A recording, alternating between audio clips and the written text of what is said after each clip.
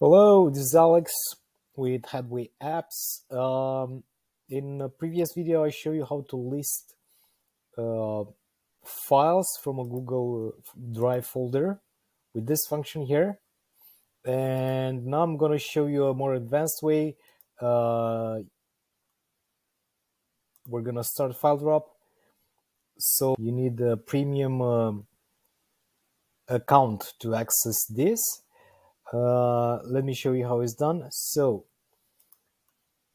I click on the drive tab here and I can search again for this folder here. So I can search for sample and I have here sample images. Uh, now I have them as a list. I can preview them by clicking here yeah and if I press this button here insert all files. Let's see what happens. So as you can see it lists the name the date when it was added its size the URL in my drive.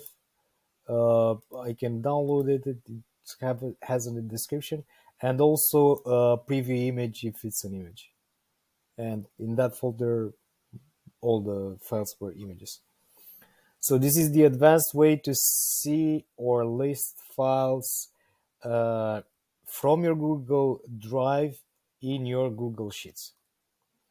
Hope it helps. Uh, leave a comment if it uh, does or if you have any request. Thank you. Cheers.